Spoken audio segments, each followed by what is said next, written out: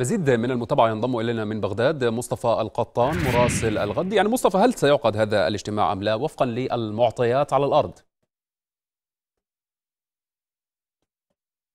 صباح الخير. يعني بالتأكيد الآن القوى السياسية العراقية تحاول من خلال هذا الاجتماع الذي سيعقد بعد قليل في مجلس النواب العراقي من أجل فهم كيفية الوصول إلى تفاهم مشترك بين هذه القوى السياسية لعبور المرحلة السياسية الحالية.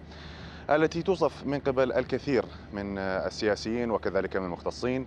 بأنها مرحلة سياسية صعبة وحرجة للغاية باعتبار أن الانتخابات قد انقضت أو انفضت وانقضت منذ عشرة أشهر أو أكثر.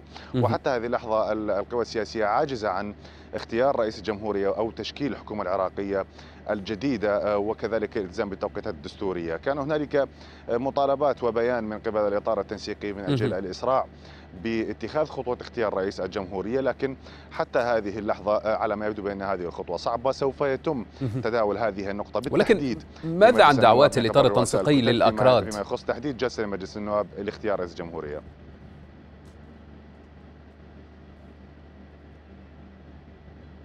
لم أسمع السؤال جيدا عفوا. مصطفى تحدث هنا عن دعوات الإطار التنسيقي للأكراد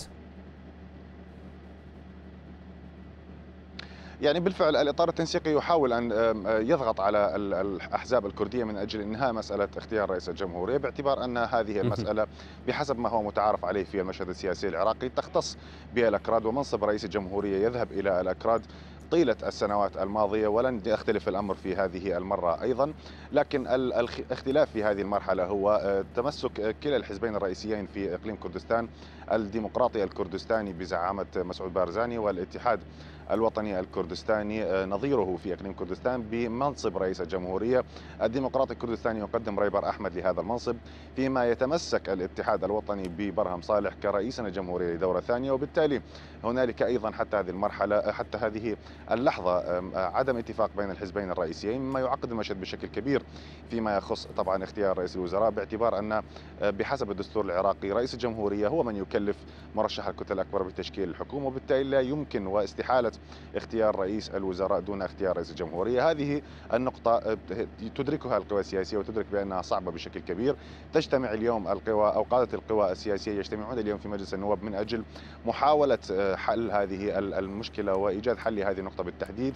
تحديد جلسة مجلس النواب لن يكفي فقط لأجل اختيار رئيس الجمهورية بل يجب أن يكون هنالك توافق بين كل القوى السياسية على اسم المرشح لكي يكون التصويت مضمونا لمن يقدم داخل مجلس النواب وبالتالي تكون هذه المسألة محلولة بشكل نهائي. شكرا جزيلا لك مصطفى القطان مراسل الغد كنت معنا من بغداد.